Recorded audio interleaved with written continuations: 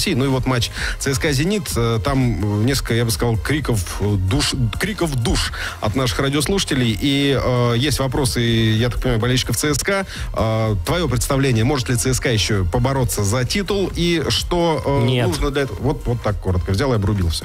Хорошо, ну тогда в отдельно взятом матче, потому что интересует э, людей, э, что ЦСКА может предложить «Зениту» э, на его поле э, и, в общем, в матче, где «Зенит», наверное, все Слушайте, ну это неправильно, когда одна команда вы все время выигрывает. Такого не бывает. И если по каким-то объективным причинам в конкретном сезоне команда не сильнее своего конкурента, то она не выигрывает. Иначе нарушается вообще футбол. В принципе, э, можно там спорить по поводу того, справедливо или несправедливо. Это такой вопрос скорее философский.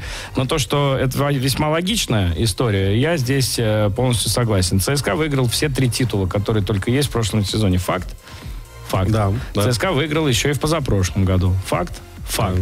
А, такая команда, как «Зенит», со своим составом, с подбором игроков, с тренерами, в общем-то, не самыми плохими на свете, может три года подряд не выигрывать, да, и упускать э, в последний момент а, то, что у них в руках.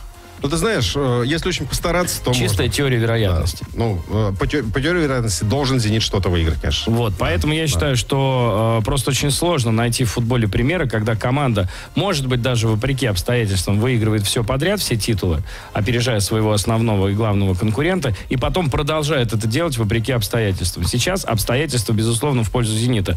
Преимущество в таблице есть, э, достаточно, ну, не короткое, мы же про скамейку сто раз говорили, что это не является фактором, но все-таки определенная смена поколений в ЦСКА, появление новых игроков, уход основного нападающего одного, потом второго. Это не может вообще никак не сказываться. Ну, не может. Ну, такого не бывает.